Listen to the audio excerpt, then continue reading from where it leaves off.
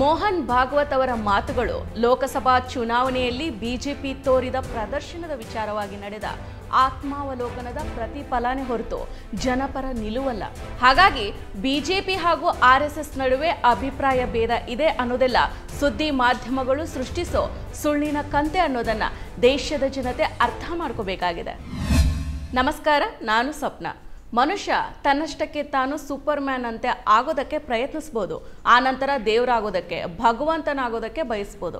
ತಾನೇ ವಿಶ್ವರೂಪದ ಪ್ರತೀಕ ಅನ್ನಂತಾಗೋದಕ್ಕೆ ಇನ್ನಿಲ್ಲದ ಕಸರತ್ತುಗಳಿಗೆ ಕೈ ಹಾಕ್ಬೋದು. ಆದರೆ ಮುಂದೇನಾಗುತ್ತೆ ಅನ್ನೋದನ್ನು ಹೇಳಲಾಗೋದು ಅಂತ ರಾಷ್ಟ್ರೀಯ ಸ್ವಯಂ ಸೇವಕ ಸಂಘದ ಸರಸಂಘ ಚಾಲಕ ಮೋಹನ್ ಭಾಗವತ್ ಅವರು ಹೇಳಿದ್ದಾರೆ. ಭಾಗವತ್ ಅವರ ಮಾತುಗಳನ್ನ ದೇಶದ ಸುದ್ದಿ ಮಾಧ್ಯಮಗಳು ಮೇಲಿಂದ ಉದುರಿದ ಆನೆ ಮುತ್ತುಗಳಂತೂ ಭ್ರಮಿಸ್ತಾ ಇದೆ. ಆದ್ಯತೆ ನೀಡಿ ಪ್ರಕಟ ಮಾಡ್ತಾ ಇದೆ. ಮತ್ತು ಆ ಮಾಧ್ಯಮಗಳೇ ಭಾಗವತರ ಮಾತುಗಳನ್ನ ಪ್ರಧಾನಿ ಮೋದಿಯವರ ವರ್ತನೆ ಕುರಿತು ಪರೋಕ್ಷವಾಗಿ ಮಾಡಿರೋ ಟೀಕೆ ಎಚ್ಚರಿಕೆ ಅಂತ ಗ್ರಹಿಸಬೇಕಾಗತ್ತೆ ಅಂತ ಅಪ್ಪನೆ ಕೊಡಿಸುತ್ತೆ.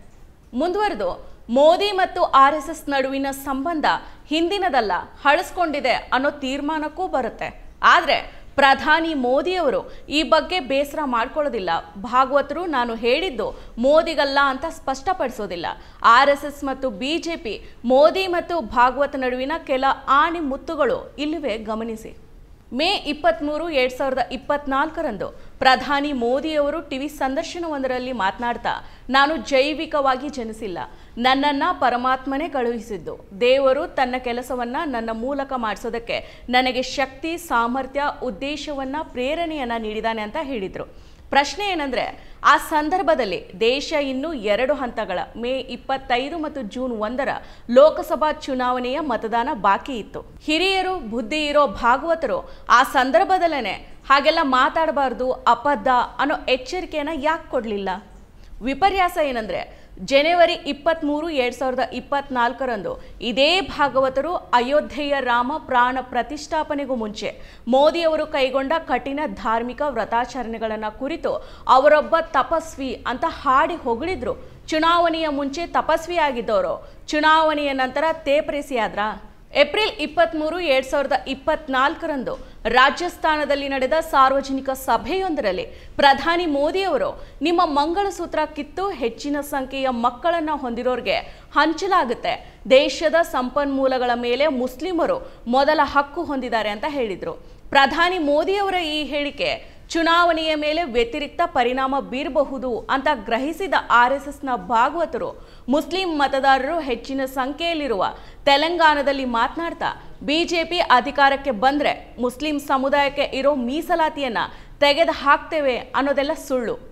ಆರ್ ಎಸ್ ಎಸ್ ಯಾವುದೇ ಷರತ್ತುಗಳಿಲ್ಲದೆ ಮೀಸಲಾತಿಯನ್ನು ಬೆಂಬಲ ಮಾಡುತ್ತೆ. ಸಮಾಜದಲ್ಲಿ ಇಂದಿಗೂ ಕೂಡ ಕೆಲವು ಗುಂಪುಗಳಲ್ಲಿ ತಾರತಮ್ಯಗಳಿದಾವೆ. ಅವರಿಗೆ ಮೀಸಲಾತಿ ಅಗತ್ಯ ಆಗಿದೆ ಅಂತ ಹೇಳಿದರು. ಅಂದರೆ ಆರ್ ಎಸ್ ಎಸ್ ಅನ್ನೋ ಹಿಂದೂಪರ ಸಂಘಟನೆ ಬಿಜೆಪಿಯ ಬೆನ್ನಿಗಿದೆ. ಪ್ರಧಾನಿ ಮೋದಿಯವರು ದ್ವೇಷಾಸೂಯೆ ಬಿತ್ತೋ ಕೋಮು ಸಂಘರ್ಷಕ್ಕೆ ಈಡು ಮಾಡೋ ಮಾತುಗಳನ್ನು ಆಡ್ತಾರೆ.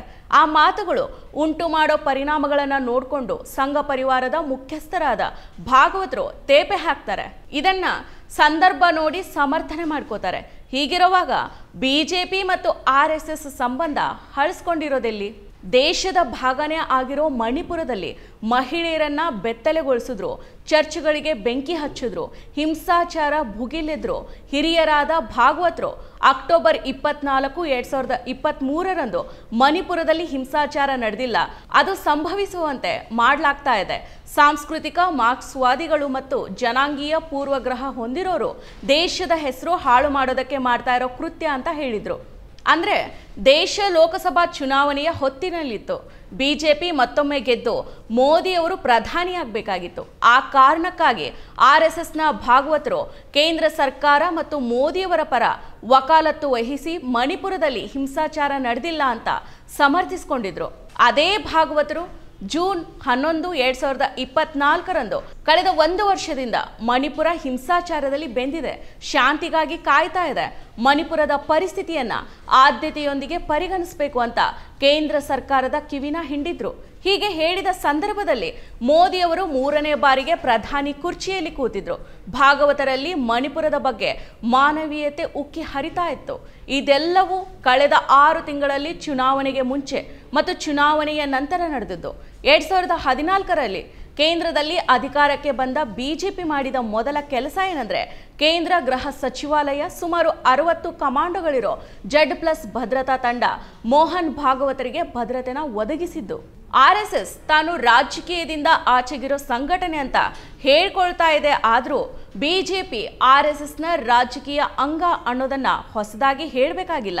ಅಲ್ಲದೆ ಬಿಜೆಪಿಗೆ ಸೈದ್ಧಾಂತಿಕ ತಳಹದಿಯನ್ನ ಹಾಕಿಕೊಟ್ಟಿದ್ದು ಹಾಗೂ ಸಂಘಟನಾ ಶಕ್ತಿಯನ್ನ ಒದಗಿಸೋದು R S S Mohan Bhagwat ಅವರ ಮಾತುಗಳು ಲೋಕಸಭಾ ಚುನಾವಣೆಯಲ್ಲಿ ಬಿಜೆಪಿ ತೋರಿದ ಪ್ರದರ್ಶನದ ವಿಚಾರವಾಗಿ ನಡೆದ ಆತ್ಮಾವಲೋಕನದ ಪ್ರತಿಫಲನೆ ಹೊರತು ಜನಪರ ನಿಲುವಲ್ಲ.